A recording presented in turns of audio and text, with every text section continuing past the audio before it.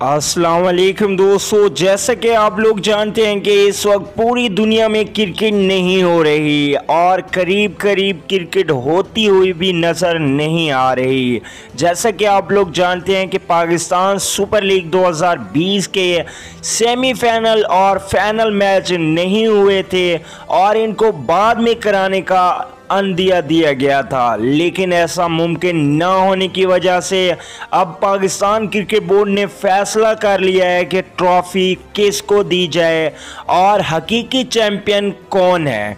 तो दोस्तों, जो खबर सामने, खुलकर सामने आ रही है उसके मुताबिक मुल्तान सुल्तान हकीकी चैम्पियन है, क्योंकि पॉइंट टेबल पर उसके पॉइंट बाकी सारी टीमों से ज़्यादा हैं, इसलिए पाकिस्तान सुपर लीग 2020 का, यानी कि पी एस एल फाइव का हकीकी चैंपियन पाकिस्तान सुपर लीग की बेहतरीन टीम मुल्तान सुल्तान है और पाकिस्तान क्रिकेट बोर्ड का कहना है कि एक महीना और वेट किया जाएगा।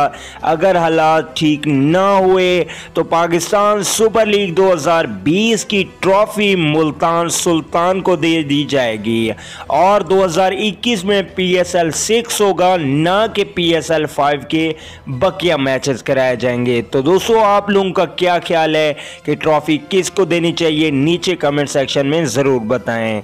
अगली वीडियो तक के लिए इजाज़त दीजिए। अल्लाह के बाद